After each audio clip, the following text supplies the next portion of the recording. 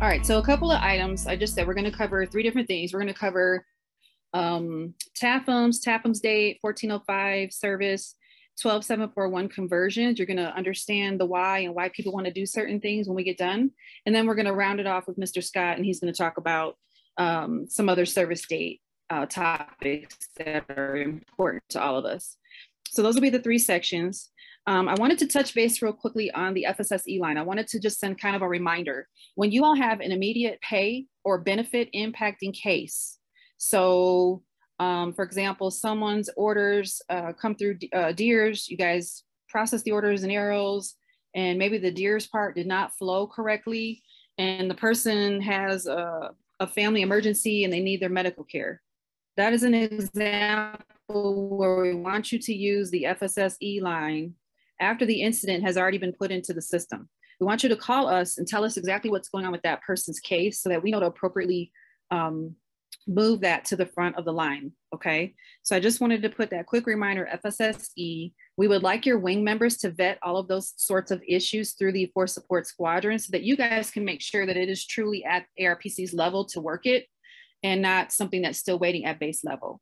So we wanted to encourage you guys to make sure that you're using that line. We're getting lots of emails for help that are true emergencies. And we wanna make sure that you know when you call the FSSE number, um, you are calling this building and we will um, try to handle that case appropriately and timely.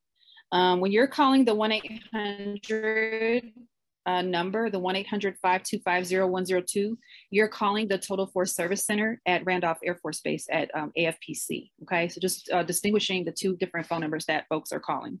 So if you want a normal status check, um, have a basic question, please do use the TFSC for that, those types of things. I also wanted to tell you, we don't have our topic yet for our October training. So hopefully we will have that um, shortly and have that worked out. But for November, we're very excited. We're gonna partner um, with NGB, and we're also gonna partner with um, the Training and Education Center um, at McGhee Tyson. And what we're gonna do is we're gonna do a myDecs demo. Um, we're gonna do a writing class. The TEC is gonna put on a, a narrative writing class for decorations. And then um, NGB, we'll let the reserve get off at that point because we're going to talk about some NGB and, and Air National Guard specific topics in regards to um, awards and recognition. So just putting that out there for your November calendar um, for that training class. Um, let me get you the date because I don't have my calendar up in front of me, but that'll be the third Wednesday in November, which will be on the 16th. Okay, so just put that as a placeholder in your calendar. And without further ado, I'm going to pass you over to Master Sergeant Rossi, and he's going to get the training started. Over to you. All right, thank you, Chief. Oh yeah, like I said, I'm Master Sergeant Rossi. I'm the lead for the AGR retirement section here at ARPC. Um, just some of the stuff um, that we're going to be going over today. You can go ahead, slide, Chief. Thank you. Uh, we're going to do like an overview of what TAFMs are, uh, 1405, um, and then just kind of the service dates, um, our responsibility here at ARPC, and then we'll get into some of the calculations. This is a good time if you don't already have your GR both serve from MilPDS up. Um, if you can grab that, we're going to kind of do some uh, hands-on calculations just to kind of help you guys kind of understand the process. Um, and if you were when you're actually doing it, definitely helps uh, solidify that information. Um, and then when and and with some questions. Now, if you have some questions during the um, during the presentation, just put those in the chat if you could, please. Um, the note, so this training is intended for unit FSS, CSS, and MPF members. Um, now, obviously, I'm not saying that unit members can't do this, um, but some of the data points and stuff like that, um, only the, the unit CSS, FSS, and MPF will have access to. Um, so again, just kind of a side note, this is intended for um, just for unit personnel. Slide. Okay, so um, this this slide is just kind of an overview. So we have uh, here at ARPC, we do calculate the TAFMS date um, and the 1405 service date, but we we usually don't do that. Um, actually, per AFMAN, we will not do that until they have 18 years TAFMS. All right, so um, so this training is if you have a member who is, doesn't quite have 18 years and they want to plan for their retirement, mostly their pay a lot of the calculators out there, they need their 1405 service date and also their TAFMS date. So this is something where you could help your members calculate that so they can put that in that calculator and at that point they can plan better for their retirement and their, the pay that they'll get um, once they get into that, that retirement status. Um, so once they do, so obviously you can calculate a form before the 18 years. Uh, once they hit the 18 years, we do ask them just to submit a MyPERS ticket. You can do that on their behalf, but they can always do it. Just all you have to put on there in the subject line is, you know, requesting uh, 1405 and TAFMS date um, calculation. We'll go ahead and do that calculation manually, and we'll send it um, to them via the MyPERS ticket. They can at that point go into the numerous calculators, and they can get um, an estimate of their pay. Now, if they if you don't have time to do that, we there is a calculator out there that will calculate the pay. It's a it's a rough estimate. Um, it's actually pretty close, um, and that is on the Air Force benefits website, and that's that link that we have right there. And they can actually. Um, so I went in today. Um, uh, it's a CAC login, pulls all my information over um, from I believe MilPDS. So all the information is already on there. All I had to do is put my um, my estimated retirement date now, for um, for AGR retirements or active duty, it's going to have your TAFMS date already on there, and then it's going to um, it has to be a date that's 20 years past that TAFMS date. So I put that date in there, puts calculate, and the next page, all it is is your your estimated pay for the month. So it was really really nice. Um, very well put together. Now, if you have your 140 service 1405 service day, it does give you a better estimate of what your pay will be. Um, but there is a calculator out there that, that, does not require that, just to let you guys know and give that over to your, your members. Slide. Okay, so calculating TAFMS. Now, I kind of want to get into like what TAFMS is, all right? So when we say TAFMS, that's a total active federal military service, all right? So when we have a TAFMS, that's all based on your active duty, all right? So on the very bottom of that page there, I did take this off of the GR both. And so when I say active duty, that's a type duty or TD code of one, two, three, four, or five. All right. So anything higher than that, that's going to be considered inactive duty. And we'll kind of get into that once we get into the 1405 service dates. Um, so TAFMS, all right. So just straight from NAFMAN, TAFMS date is later than the original uh, date of original entry on active duty by a period equal to the breaks in service. So now if you were RegAF and you were on continuous active duty, your TAFMS date would be the same as your DIEUS date, right? But that's not what we're dealing with here. A lot of times we're dealing with Guard and Reserve members on a traditional status, uh, drill status guardsmen or traditional reservists that just kind of go back and forth between either AGR orders or, um, you know, just doing, going back to a traditional status where they're not on continuous active duty. So these dates are going to fluctuate. All right. So TAFMS date and 1405 service date, those dates fluctuate. That's why we, we do it at the 18 year mark. All right. Because usually at that time and not in obviously every case is different but usually the 18 year mark they're either in sanctuary or they're at least closer to their retirement date. So that date um, the TAFMS date and 1405 service date they're not going to it's not going to fluctuate as much um, for their last two years of service. So going into the calculations all right so the only document that we use here at ARPC is the GR both served from MilPDS all right now, the two data points are the TAFMS and a points accrued to date. Now, you can get that also off the virtual MPF RIP. So it doesn't really, you don't necessarily need to get it from the GR both, but make sure that you have those two data points. All right. So just kind of pointing down here, that's where you would find it. It'll be on the GR both upper left-hand corner, that, or sorry, the upper right-hand corner would be the TAFMS. And if you scroll down to the second page under the service history, um, they'll have the points accrued to date, which is also their last closeout R&R. So essentially on the form, everything on the form should be correct as of, so in this case, 13 September 2021. So that's what their TAFMS was as of the points accrued to date. So that's the two data points we need. And what we're going to do is, um, kind of in layman's terms, we're going to take the points accrued to date and we're going to try to find the exact date um, that was so um, based on their TAFM. So from 13 7 2021 we're going to take 18 years, 10 months, and 21 days from that. And that date is their TAFMS date. Okay. And I'm going to show you kind of how we do that on the next slide.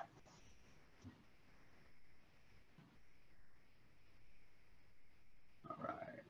Okay. So like I said before, taking those two data points, we're going to take the points accrued to date. We're going to subtract the TAFMS from that.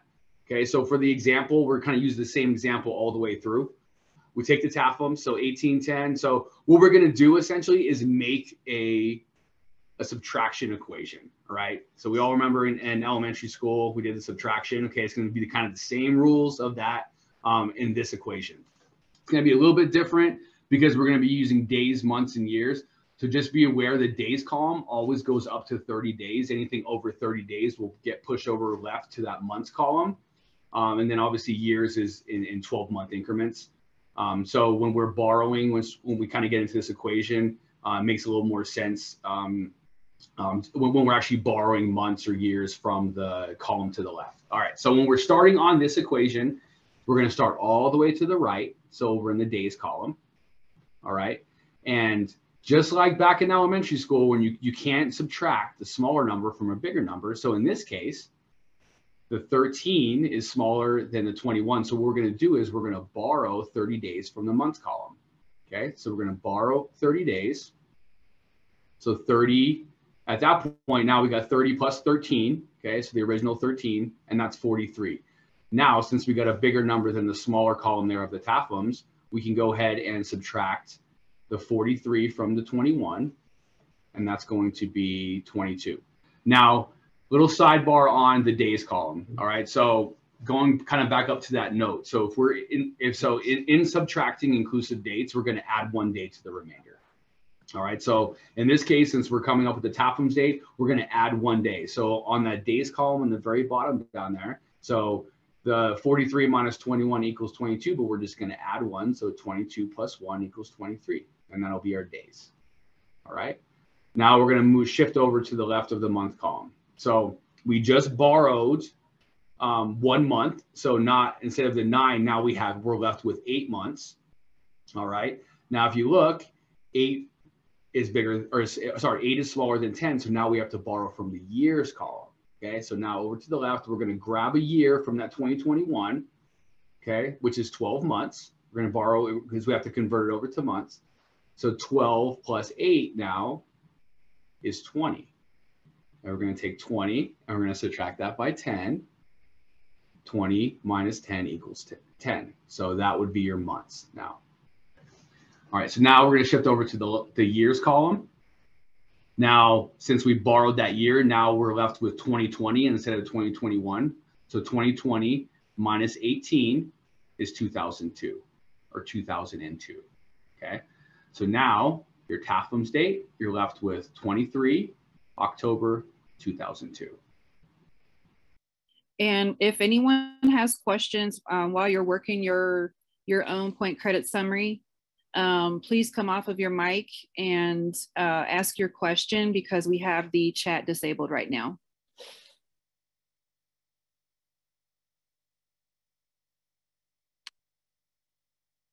Would you mind putting it on the slide that showed the calculation?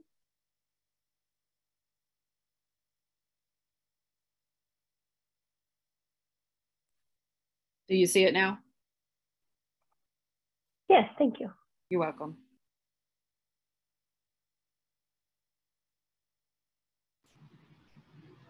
Hey, ma'am, go back to the TAFMS data. It should be back a couple slides.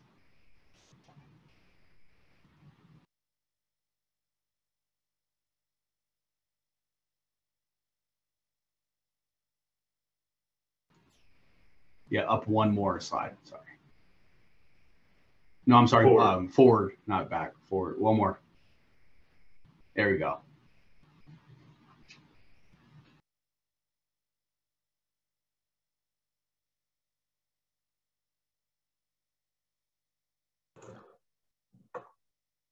I had a question about the added extra day. I thought we only added the extra day whenever you had a like a year, month, and day instead of like a period of time like the TAFM's date is, the 18, 10, 21. I thought you, you would have to have like 2021 uh, 0913 minus 2020 0912, you know, two periods of time instead of just that way the TAFM state is. Is that not correct? It's with any subtraction of a service date. So that's your rule of thumb. That note that's kind of up there towards the top of that chart. Anytime you're subtracting, you're going to add that day to give credit for that day. Okay, thank you. So if you're adding the service date, you don't add another day at the end of your calculation. But if you're subtracting, you add the day. Okay, got it. Thanks.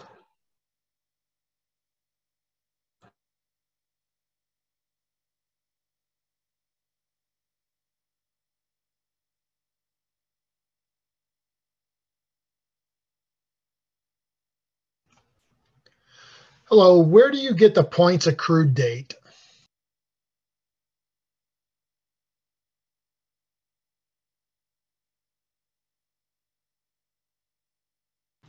So so that, that'll be so either on your virtual MPF RIP, so you can you can get the members can get this on themselves, and you should have MPF access to be able to get your members records. But that'll be on the bottom. So on on that particular sheet, that'll be on the bottom of their points for their R&R year. So they'll have all their PCARS. On the next page, you'll have like um, all their total points for their R&R year, and then right under that'll be their points accrued to date. Now on the, the GR both, what we're using for MilPDS, that'll be on the second page. Um, so you'll see on the top service history, and it'll be right next to the active duty on the very top of the report. So we'll see points accrued to date, and that'll be the date that um, all these points were calculated up to. If that answers your question. It does. Thank you.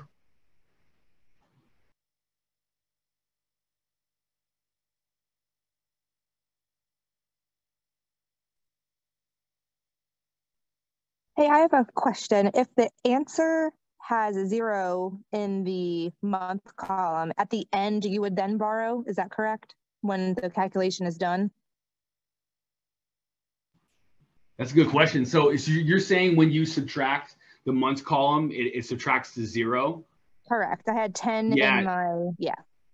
So so at that point you're gonna it can't be a zero, right? Because it can't be zero months, which is that's a very good question. I'm glad you brought that up. Um, yeah, you're gonna have to borrow a year and bring Copy. a Thank 12 you. over.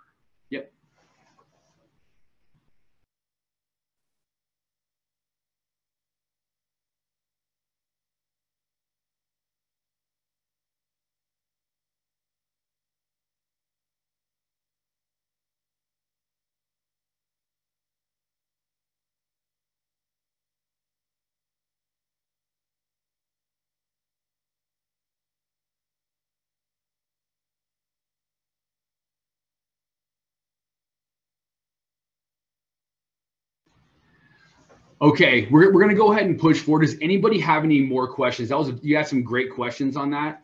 Um, you know, and so if you have any questions at all, we can always uh, we can readdress them at the end, or you can uh, email us. We can kind of go through if you have any specific scenarios and it's a little bit crazy.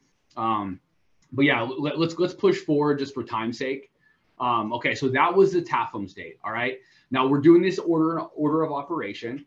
So we need the TAFMS date to be able to calculate the 1405 service date. All right. But back up a little bit. I'm gonna kind of explain what 1405 service is. Um, so just straight from the AFMAN, then I'll explain it. All right. So from the AFMAN, it's one day for each inactive duty point earned while not on active duty, limited to maximum allowable points. And when I say maximum allowable points, what I mean is you can only get credit for 365 days in a year. Okay. So if you're on continuous active duty for 365, or 366, you will not get credit for your membership points that year. Okay, so that's just kind of a sidebar, side note. So for whatever R&R year you're participating, you're only going to get a max of 365. All right. Now, if you have you're on less than 365 active duty that year, you will get added on to to uh, not to exceed 365. All right. Um, so that's what's this is. So what we're doing on this, and I'm gonna do again, I'm gonna do layman's terms. What we're doing is we are getting, so we're taking your total retirement points. Now your retirement points are everything. So it's all the TDs, all the service that you performed. It's taking all that, including your membership points, right? And that's like everything that you've earned for the military is your retirement points. All right. What we're doing is we're subtracting that from your active duty time. So whatever's left over, that's your 1405 service. All right. So that that includes everything, IDTs, um, you know, so, so pretty much anything, your membership points, all that is your 1405 service. Okay. So it's everything in your career, your retirement points minus the active duty. Whatever's left over, That's your 1405 service. All right. And if you see in the very bottom there with uh, the type duty codes, um, again, so when we're talking about that, we're talking about six, seven, eight, and nine. All right. Those are all, and obviously, and we're adding in membership points too. That's what your 1405 service is. Okay. So everything else, like um, the previous slide, we're talking about active duty. That's one through five. Um, and uh, so we're talking about 1405 service or reserve or guard time. That's what we're talking about. Okay. So let me see here. Now, when we when we compute this, all right. So anything that anytime we're we're computing reserve time, we're going to be following Title 10, 12733. Okay. And what that says, I don't want you to have to jump in there and look at the law, but I'll just tell you, pretty much says, well, it doesn't pretty much. It, it says that we're gonna we're gonna divide that by 360. So these members are actually getting extra service. All right. So we came up with their TAFMs. Now, when you're dealing with an active duty or regular retirement, their pay is going to be based on their active duty that they served. All right, their TAFMs. Um, but what what the 1405 is, it's going to add an extra credit for these members, so they actually get paid for paid more. So, for example, we got a member, he's got 20 years TAFMs, and he had, let's say he had um, two two years and four months of 1405 service. Okay, so all that reserve time. This member will actually get paid. So instead of the 20 years, they're going to get paid for the 22 years and four months on their pay. Okay, so this is really important for these members. Again, you're not going to have to like calculate actually what that is. We're going to do that when we process their retirement. Okay, so we're going to do their TAFMs um, as of the retirement effective date, and we're going to do their 1405 credit. We're going to add all on. It's going to be nice and pretty on a retirement order. We're going to send that off to DFAS, and we're going to let them process for pay. All right. What we're doing here is we're trying to find a 1405 service date so they can put that into a calculator so they can get um, an estimate of what they're going to get paid, plan for their future and whatnot. Okay. So that's kind of the, the gist of it. All right. So now let's get into the calculating the actual date. Same thing before, just going to need one document and we need, well, in this case, we're going to need three data points. All right. So the first one is going to be that total active federal military service date that we just calculated. We're going to need that date. And then we're, um, and then from the GR both, the same second page service history, we need their total retirement points and we need their total active duty points. Okay. And we're just going to subtract those two.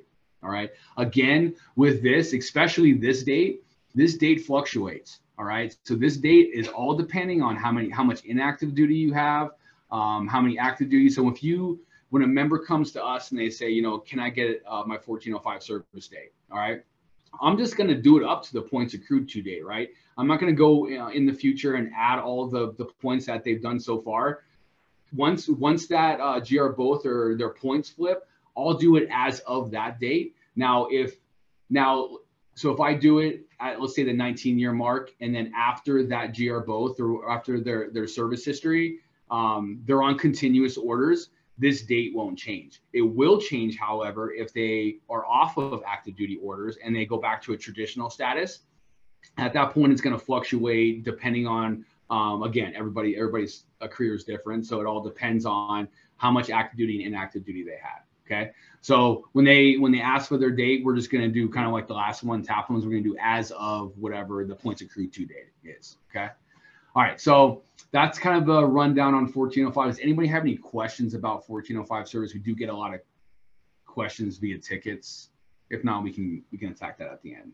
Okay, so now we're going to get into the calculations. All right, so what we're going to do is, like I said before, we're going to take the retirement points and the active duty points, whatever the the difference is, is your 1405 service. All right. Well, to be able to put it into our equation down here, we have to um, we have to take that 1405 service and we have to convert that into years, months, and days. All right. Like I said before, since we're dealing with just reserving guard points, the inactive time, we're going to divide that by 360. All right.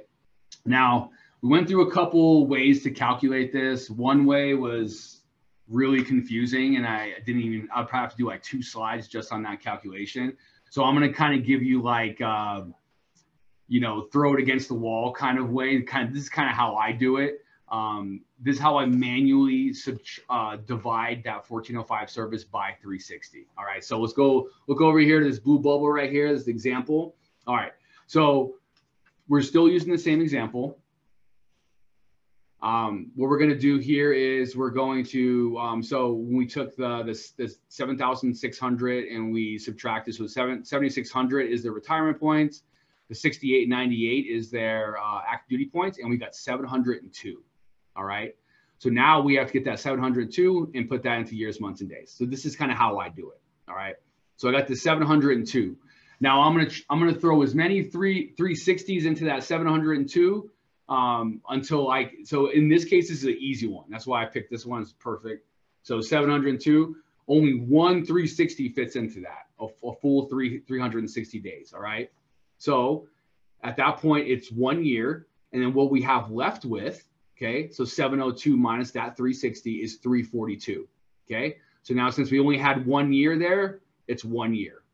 So now we're taking the 342. Now we have to convert that into 30 days. Like I said before, the days column is always in 30s, right?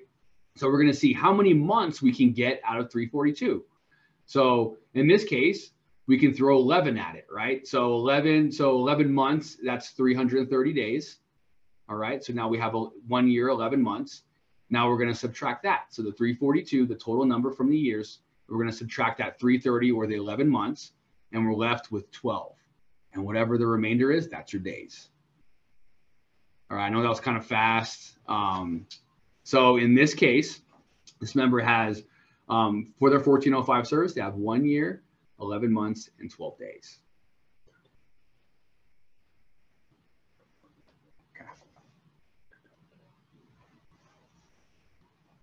All right. So kind of go down to the example. Um, since we already converted it, now let's go. It's going to be the same way as we did the TAFMS. Okay. So it's going to be a subtraction equation. All right. So I'll put the TAFMS date that we previously calculated. So um, 2002, 10, 22 and we're going to subtract that from their 1405 service. So we just we just converted from 360. So we got one year, 11 months, and 12 days. Oh, okay. All right. We're good. All right. So um, I, I was just told I, I, messed up on my slide. So uh, that TAFMS date is actually 23. So uh, I'm going to be off on one on this. Yes, we got it. Sorry about that. All right. So we got 23 actually, right? So that previous, because uh, I forgot to add the one on the slide. So it'd be 23.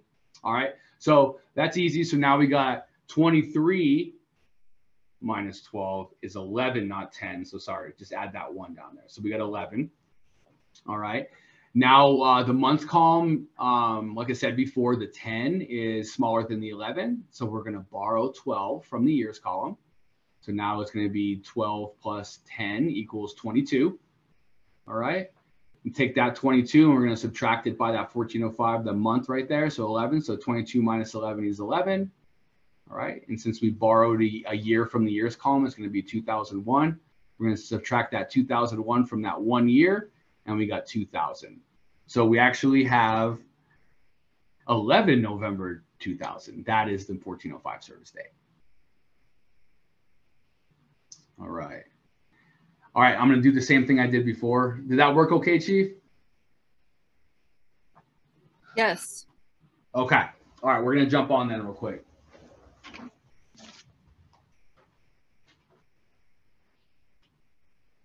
All right, same way we did before. Hold on, we're gonna we're, we got a little. Hey, Sergeant Rossi, can you use a different marker, a darker marker though? It was oh, yes. hard to see that. I don't know if it was red or um, what color, but yeah, thank you. And Chief, please share my screen?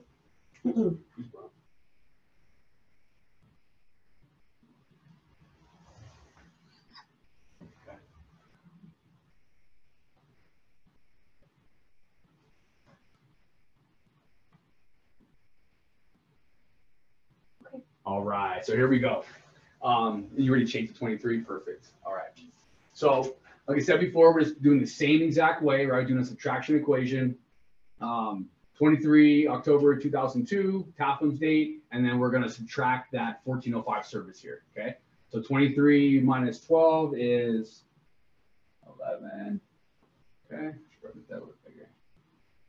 11, all right, so obviously the 10 smaller than the 11. So we're going to have to borrow a year from here. So that turns it from 2002 to 2001. Okay. Now this makes this a now a 22. Got that horrible handwriting. All right, so 22 minus 11 is now 11. Okay. 2001 minus 1 is 2000. And that is your 1405 service date. Same thing before, uh, take time. You guys should already have that top TAFMS date you guys calculated. So go ahead and try to subtract that 1405 time to make that 1405 service date. I'll give you a couple minutes.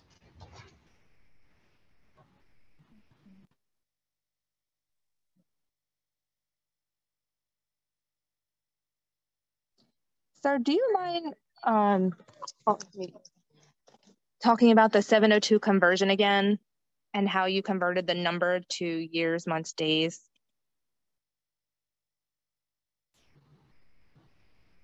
Oh, um, oh yeah, sorry. Yeah, so the the example, okay. So yeah, so so again, we have to divide by 360. Is that what you're talking about to convert that 1405 service into years, months, and days, right? Correct. So, so I divided it and then I got lost there. Yeah. So so I, I I don't think I even have enough time to like to do the division and multiplication process of this. Um, do you have a bigger number?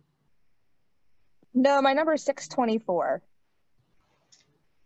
Okay. So what you're going to do is take 624 minus 360. Okay. Divided so you're going to have one year. No, you're, you're going to, you're going to subtract it. Copy. So we're going to use subtraction. It, just makes it a little bit easier to explain.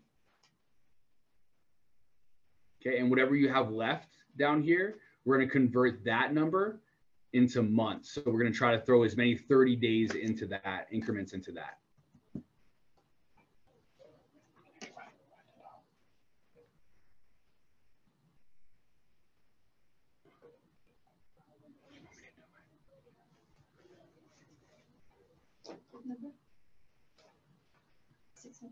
So so what was that again? It was it was 623 you said, right? 624, yes. 624. Okay, we're gonna do it on the board. All right.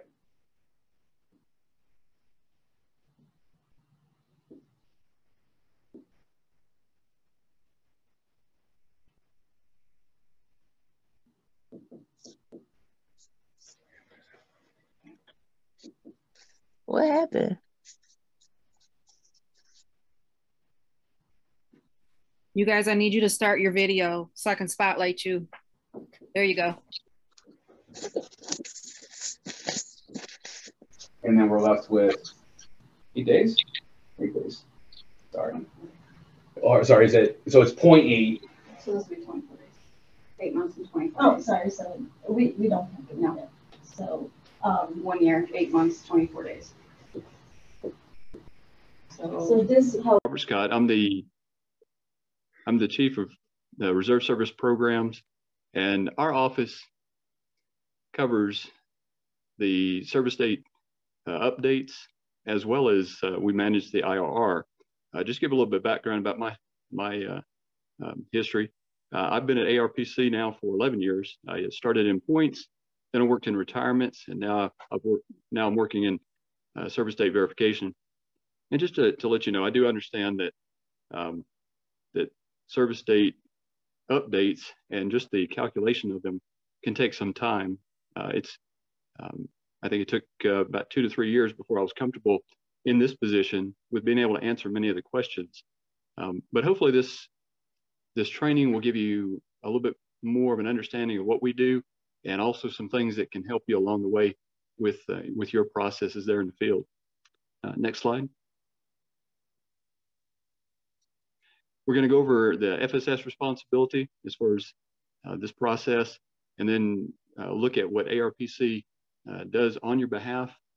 Then um, I've added some things as far as what you would need to know in order to succeed on your end, as well as uh, identifying some common errors and issues, and then also included frequently asked questions. And at the at the end, I'll um, just uh, give the references that we use to uh, calculate the dates. Next slide as far as the FSS, the, the main thing that I want to get across is for the initial service date validation, it does need to be done during that initial gain process, or even um, as you're identifying a member that's going to be gained, it's validating the dates before you actually pull the person in. Um, the updates need to be made in AFRISS TF before the data is pulled over and gained. Uh, if you gain the person and they become record status 10, uh, at that point, you're going to be locked out from making any updates to pay date, total federal commission service date, or, or total year service date. Uh, at that point, then my office beca- becomes the office that would have to make those updates. Um, so it's it's really critical that you make those updates on your end as best you're able uh, prior to that gain action going in. Um, as it says, if, if we do need to make an update, it's it's done through a MyPERS ticket um, with all the supporting documentation. And what we're looking at is anything that identifies a period of time where a member either is enlisting, separating, or, or being appointed. And uh, I'll include it at the end too that the, um, the app manual 36, 2604 is the manual that we use to, uh, to update service dates. Next slide.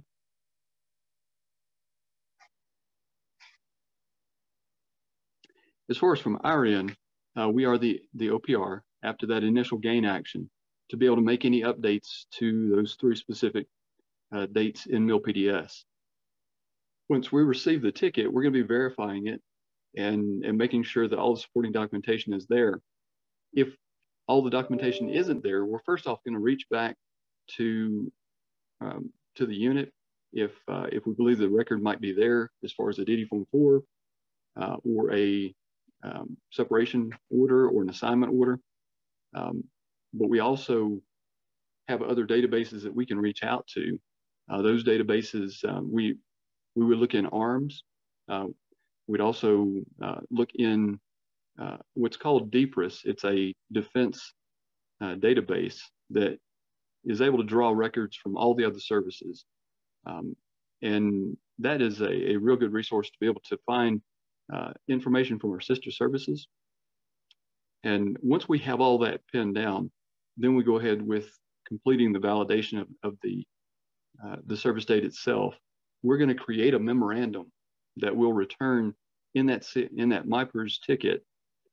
And if, for instance, it's a pay date issue, well, you can use that memorandum in a CMS case to DFAS uh, to have them correct the member's pay date at DFAS.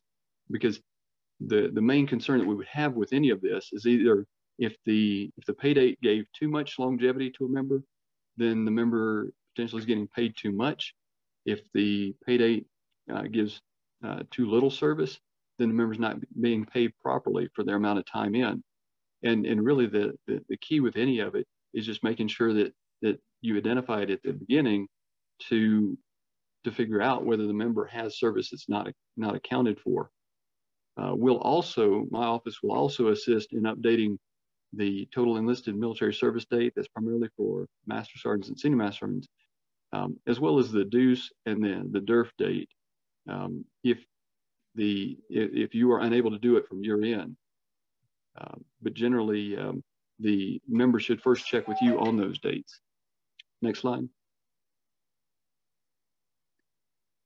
In order to succeed, the, the, the primary thing that we would ask you to do is when you have a member who is, is coming into a unit, uh, whether it's brand, brand new or uh, when they are coming from a different service, review all the supporting documentation, ask the member, uh, especially if they are, are not just a, an, a totally new member into the military, but ask them whether they've served in another service or even in the, in the Air Force itself at a prior time because in all those cases, if it, it would be a, it potentially is a break in service.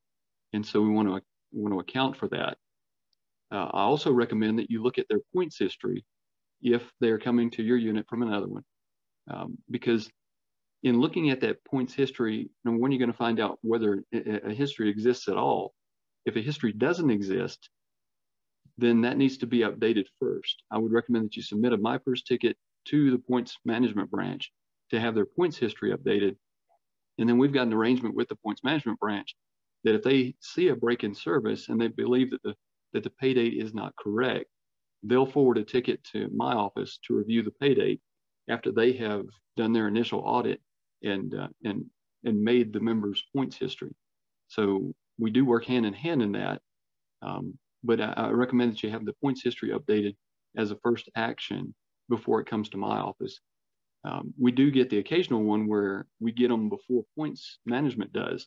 And if that's the case, then we'll we'll do our validation if we're able to with the points, or excuse me, with the uh, the pay date, and we'll create a ticket back to points management for them to do a, an initial audit on those members uh, when it's warranted. Next slide. Some common errors that we've come across is in the calculation, uh, you have to keep in mind that delayed entry program is non-creditable for the vast majority of people that we have currently serving. There was a period of time back in the uh, mid mid 80s where DEP was creditable, but many of our, many of our members today uh, don't fall under that. So DEP, by and large, is a non-creditable period for pay. That, however, does establish their due date when and their date initially entered uniform service. So the, the, the date they entered delayed enlistment is important. It establishes the beginning of their military service obligation, but it isn't creditable for pay for the, the vast majority of people. Also, ROTC um, or attendance at the Air Force Academy is a non-creditable period for pay, total federal commission service date, and total year service date. Uh, and that applies if the member got a commission. We have instances where members went to uh, ROTC or the Air Force Academy and did not complete that course of training.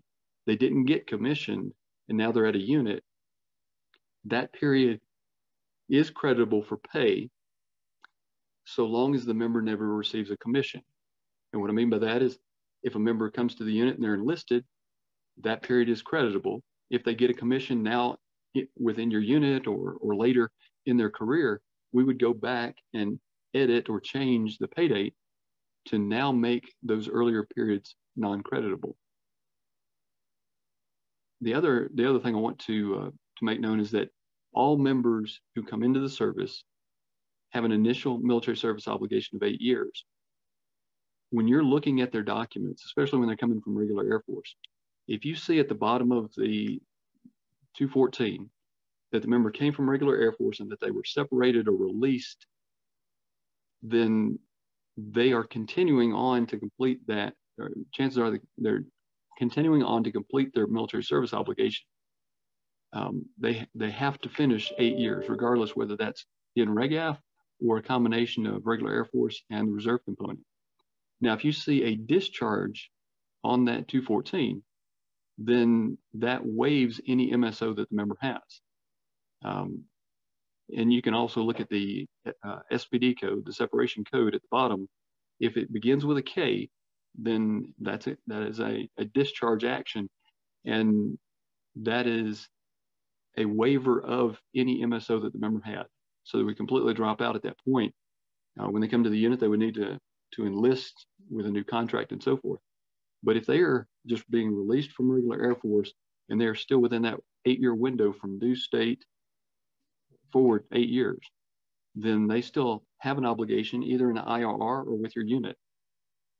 Um, so that uh, that would not be a break in service. Um, and also, if they're in the IRR, uh, that is creditable for pay. I've had some recent uh, tickets that have come into my office where folks um, are misunderstanding that and thinking that service in the IRR is not creditable for pay or for service. And in fact, uh, it truly is. It, it, affects their pay date, but it also affects their service on the, the, the officer side as far as um, their commission service. Next slide. Now, some frequently asked questions uh, that we get, why is my DIEUS date in MilPDS the same as my entrance date on active duty? One thing we did find prior to 2016 is that the data that active duty was taking from AFRISS TF was incorrect. The data in AFRISS TF had the member's start date, their due date, as the same day that they went to active duty it was it usually was not until they came to the reserve that we had that we corrected that um, and it, it it altered or, or caused problems because their military service obligation was was not properly calculated. And so that's that's an important thing to check when when the members come to the unit. If they entered the military prior to 2016, please check their due date to make sure that's correct because that will determine what their military service obligation end date is. The next question, does time in, served in the IRR count toward pay? Yes, it does. Does time on the inactive status list reserve section count toward overall commission time? Yes, it does.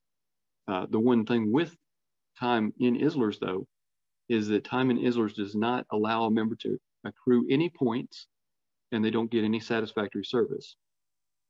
So there are a number of different different rules there that, that apply. Um, next question, does DPAMR update the uh, total active federal military service date? And the answer is no, we don't. Um, ARPC retirements is the OPR for that uh, on the reserve side, and the uh, Human Resource Office for the Air National Guard uh, would update those dates. Uh, ne next question, does DPAMR update the expiration term of service for a unit member? Uh, on the reserve side, no, that's the Wing Career Assistance Advisor. Um, the MPF for Air National Guard and for IMAs, uh, we have a section here at ARPC that updates their expiration term of service. Next slide. Okay, these are the, the tools that we use. The primary ones we've already made reference, and, and even in the previous training that you had today, uh, AFMAN 362604, service dates and dates of rank, uh, is, a, is a crucial uh, reference to, to, to go to for service dates, but also the DoD Financial Management Regulation 7000.14-R, Volume 7A. Um, real long name, but um, but that's one that that tells us what periods of service are actually creditable for pay and what what is not. Um, and there's also a PSD guide out um, out there as well for uh, updating military service dates and making those corrections in MilPDS. Uh, hopefully the, this overview has been a, been a helpful one, and I'm open for, for any questions that you might have at this point.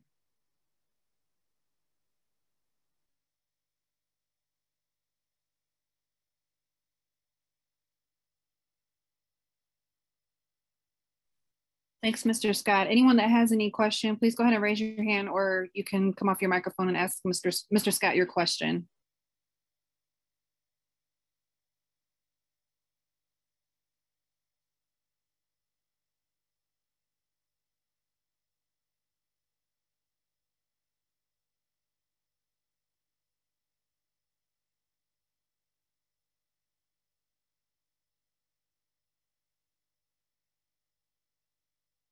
Okay, nothing heard for Mr. Scott. We're gonna go back to our retirements team just for a moment. They're gonna actually show you guys, I know some of you had a burning desire to maybe see that um, 360 day, that conversion that was happening. So we're gonna turn it back over to them in just a moment.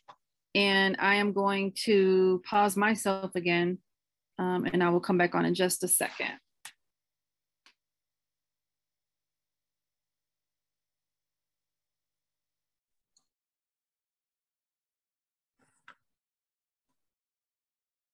Hi, good morning, everyone. This is Tech Sergeant Ramirez from ARPC.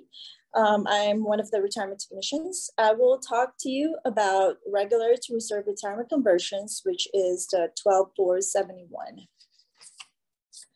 Slide. Our agenda for today, we will talk about uh, roles and responsibilities, retirement conversion, reason to convert, eligibility checklist, determining eligibility, and we'll give you some examples to it, how you will apply, what to expect, and some question and answer portion. All right, for roles and responsibilities. Here at ARPC, um, our responsibility is to manage the application for the um, reserves, and we will verify eligibility for request retirement dates. Um, our retirement technician are available to answer questions and process transactions regarding the conversion. For the FSS, MPF, and wing advisors, um, you will need to be able to provide your um, customer service to your members, have knowledge of overall requirements, provide retirement counseling, and assist members with submitting their request. For the member themselves is to formally request the 12 uh, 741 memo in writing and submit through MyPERS. This is when they reach their age 60 and have, or if, or if they have a confirmed RRPA date. And to also make sure that they have a complete requirements for this conversion. And the DFAS um, roles and responsibility is to process their retirement pay package, uh, which they make sure that they got their new pay in effect on time. Slide. What is a retirement conversion? Retirement conversion is basically regular to reserve conversion. This is under Title 10, USC Section 12, 741, Chapter 1223. This law authorized a member to convert their active duty retired pay to reserve retired pay.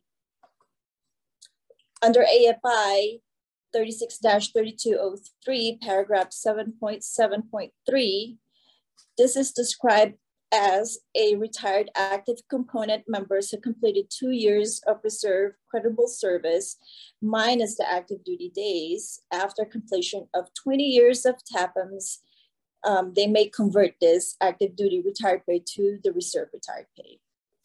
Normally, again, at age 60 or on their approved RRPA date. Slide.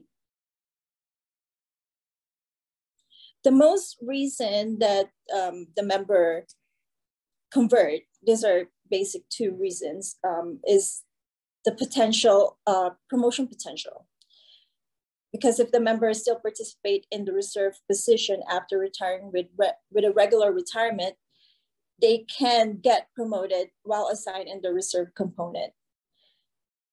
Time and grade is still applies for officer and must be met. So for the first uh, lieutenant to captain, they still need six months time and grade. And for 04 major and above, they will still need three years of time and grade. However, this can be done in just satisfactory service. So three years of satisfactory service. Another example is um, when the member has reached a full 20 years of TAFMS, but has not met time and grading requirements, member opts to continue participating in a reserve position to either gain that required time and grade or to promote to their next grade. Another reason is the member is still participating. So they keep earning this retirement that they can increase the retired pay. Another example is member reach 20 years of TAFMS and chooses to continue participating in a reserve. Member may convert retirement to the retirement. Next slide eligibility checklist. So here are some of our standard criteria. First and foremost, um, the member must have 20 years of TAFMS. This is the first thing that we look. Without 20 years of TAFMS, they will not be eligible for the rest of the criteria that we're looking for. So after they have completed their 20 years of TAFMS, they must be closer to their age 60 or have an approved RRPA date. Member also need to elect to receive retired pay in writing. So they have to submit the memo. And we have this um, letter, specific memo formatted for the member to use. It will be available online. And also the member needs to meet the 730 day rule. It has to be 730 days of reserve satisfactory service after completing 20 years of TAFMS. When talking about satisfactory years, the member must meet at least two good satisfactory years of additional reserve time. The caveat for this is that the active duty days are non-qualifying. So if you pull up your PCARS history or point credit summary, somewhere at the bottom will show you the type of duty that's are qualifying and non-qualifying. Basically, the non-qualifying ones are the numbers from one through five. Some example of this are like annual training, RPA, MPA, schools, and deployments. Five of these examples, those one through five numbers will be excluded count from the 730 day rule. And the qualifying ones will be the numbers six through nine. An example of this are UTAs, the, some of the acceptable ones are UTAs, flight training program, even PT time is also qualified for those 730 days. All right, on this next one, this is more like an icing on the cake um, per DOTI. The member who are served after April 27, 2001 and before October 28, 2009, they are exempt for any reserve service requirements such as the 730 day rule. However, they still will need require the 20 years of TAFMS which is also equivalent for having the 20 years of satisfactory service. That they still need to have that, but they are exempted to that 730 day rule. Last but not least, is more of a um, reminder for the members. Um, when the member is electing to convert retirement using their confirmed RRPA date, they do not qualify for TRICARE until age 60.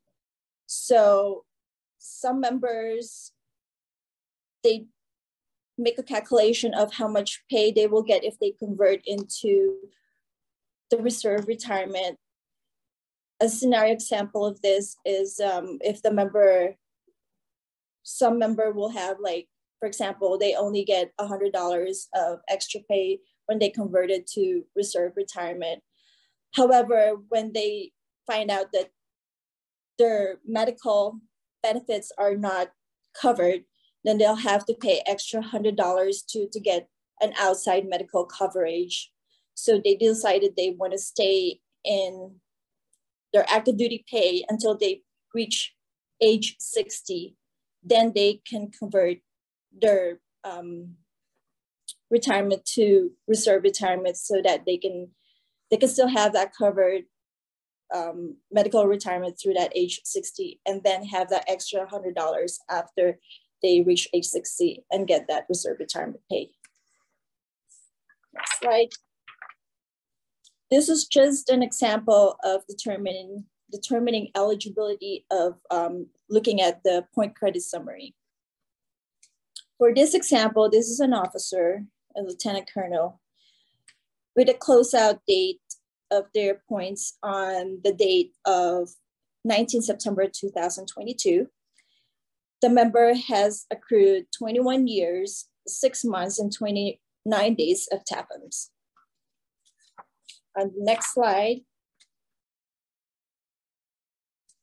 it shows here on the right-hand corner for the satisfactory service, the member also had 20 years of satisfactory service, more than 20 years. So at this case, he has 20 years, five months, and 12 days. And all the way down at the bottom, you will see the history stat code, which is XF. XF shows when the member was transferred to retired active duty. So it's nice to know the code, what the meanings are. If you go look up um, a line after, uh, before XF, it says FR. FR code means um, they are in regular active duty. And then after they serve active duty for 20 years, they are placed in that active duty retired pay list which is the next XF, and then the next line, it will show their code as FV. That shows when the member returned to the service in a reserve component. Next slide. So now I, I can show you how we calculate the 730 day rule. To determine the 730 day rule, you will have to look at look at the uh, year for the January 6, 2006 uh, through January 5, 2007, that first R&R year on the reserve time frame. In one R&R year, you have 365 days. So that 365 days, you will deduct the 82 days, 82 days of their active time, active time. And you will see that uh, the active duty time is highlighted in pink or salmon color. So you will see in that time frame, the member has 82 days of active duty time. So you will have the 365 days within that whole R&R year minus subtracted with the 82 days of active, active duty time. And the difference is 283 days. And that is your qualified reserve days. When you count the years, you will also have to consider leap years on every four years, increments from four even years. So for example, even year, um, leap year will be every four years from two, year 2000. So in this case, in the R&R year ending January 2008, we will use 366 rather than 365. So you add just one day for the leap year. So 365 days minus their active duty time, which is 65, is equals 301. And then you keep continuing doing that subtraction all the way down to 2011 after you get all the difference, you add the difference together, then you will have a total of 1,478 qualifying reserve days. So this, this qualifies the member because it's more than 730 day reserve days. So how, that's how you calculate it. All right, example number two. This shows the ineligibility of a member this member is a tech sergeant, is enlisted.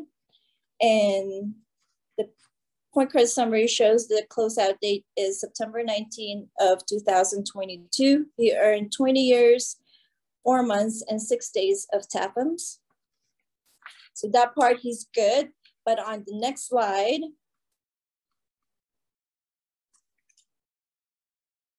All right, this member also good with satisfactory years of 22 years, seven months and 19 days.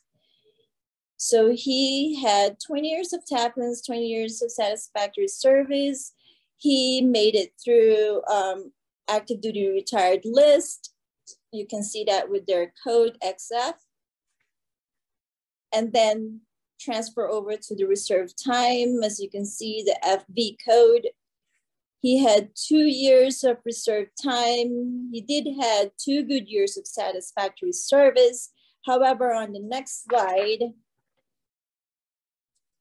when you calculate their days of reserve time, so you take their whole year and year of 2003 and 2007. So you go 365 days for 2003 minus their active duty time, which is 27, you have 338 days. And on the ending year of 2004, which is a leap year, so you have to use 366 days, and then you subtract their active duty days for 30 days, they have a, a difference of 336 days.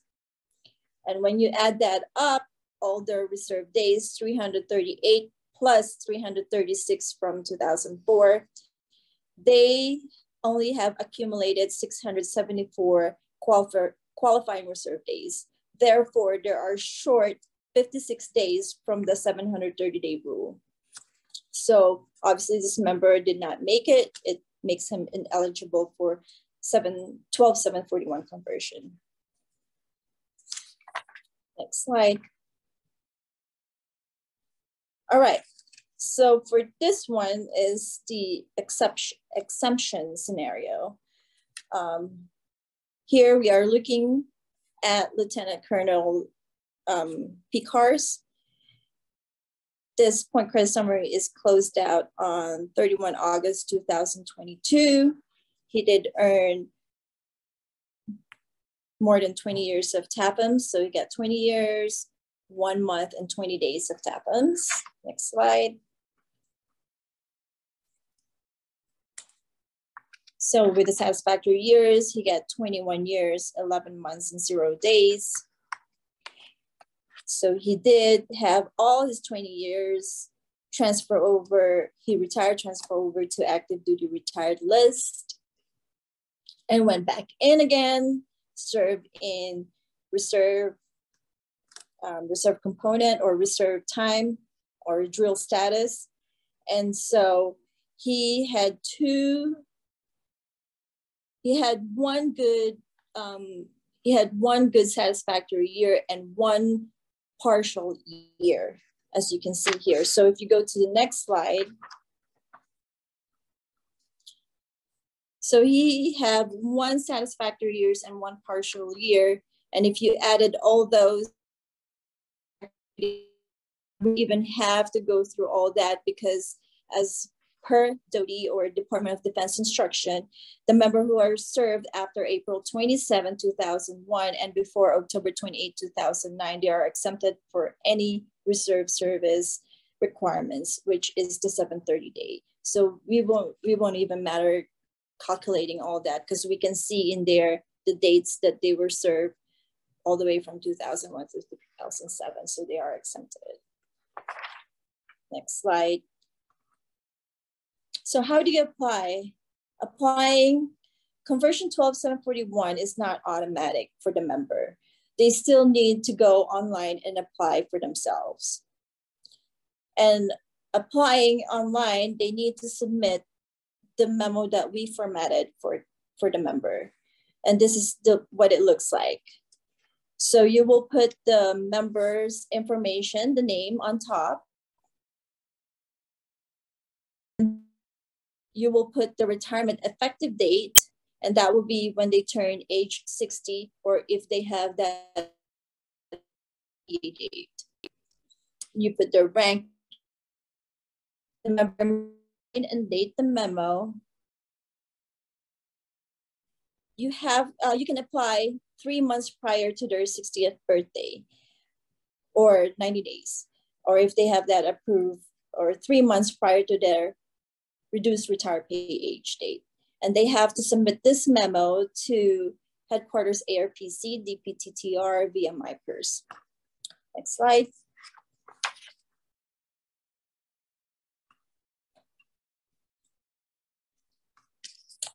All right, this is how online, what it looks like online.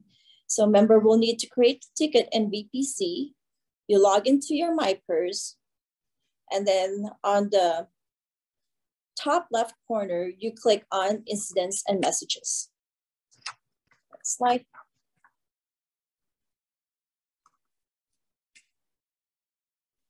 All right, after you click there, the screen will pop out. Corner, you will see email us. You'll click in there. Once you click, this is what it looks like. And you will go through the component and click the drop down menu and you can select which component serve national retiree. And then you will select officer or enlisted. Then under category, it will be retirement. You will see the red paragraph in here. Please pay attention to this. Make sure that the member doesn't put any PII information in the box, anywhere in the subject or question box. A lot of members still does this. They put their social security number and this site is insecure. It can still be intercepted. It's not encrypted. So just remind them, do not put any PII information in it. On the subject line matter, it must be in specific wording as what it says here. It has to be retirement conversion slash 12741 conversion. Under the question block, you can put some memo in there, just what it says in here, or you can put as simple as please process my application for 12741 conversion. Then make sure that the memo of that, the memo is basically your application. So make sure that the member attached that memo in there. So you click continue and that should be submitted. Slide. So what can you expect? What the member can expect is that once ARPC received this ticket, we will be able to assign it to a technician for audit to determine their eligibility. For the el eligible member, they will have the 12741 letter that we created, and then it will be approved and signed by, by our division chief. Once approved, the 12741 letter will be sent to DFAS along with the retirement package. So the member will have a new retirement uh, order generated. We generated that for them and we will email a copy of that new order to the member. For the ones who are ineligible, they will receive notice of an explanation why are they are not qualified. Next slide. So again, question and answer. This is more of a um, review again. So just foot, foot stopping on what we've already discussed. First question is, while serving in the reserve after retiring from active duty, can they be promoted? Yes, they are eligible for promotion as long as they meet their time and grade. When will the retirements be available in myFSS, which is now our Salesforce? We are projected and our goal is to have it available and ready on 1 February 2023. More to follow on that. Another question is, when should a member apply for conversion? Again, they can apply three months ahead or 90 days ahead before they reach their age 60 or if they have an approved RRPA date. Another question is when should the ticket, uh, what should the subject line be? So subject line, remember, this must be written as is. It has to be retirement conversion slash 12741 conversion. And then you add the member's last name and their first initial. How does this impact the medical benefits?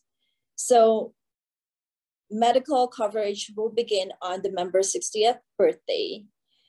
Medical benefits under members' regular retirement will no longer be eligible for the same benefits upon conversion. The last question is, does the conversion impact reserve component or uh, component survivor benefit plan or RCSBP?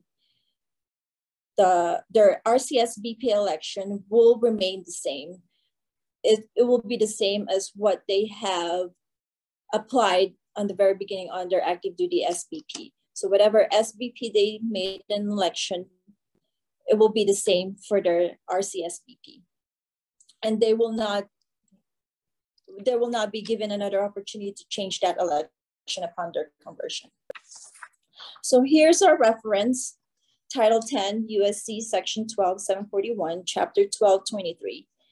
And also the AFI 3632-03, paragraph 7.7.3, which is service retirement conversion.